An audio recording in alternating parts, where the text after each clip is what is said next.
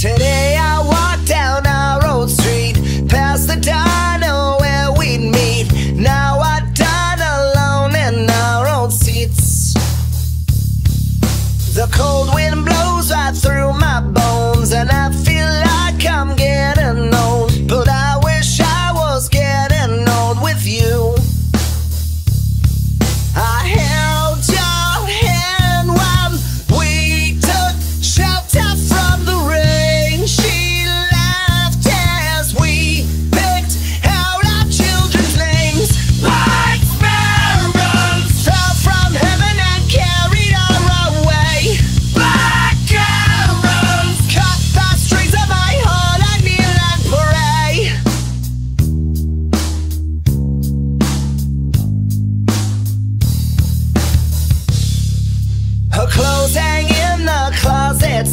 Her clothes hang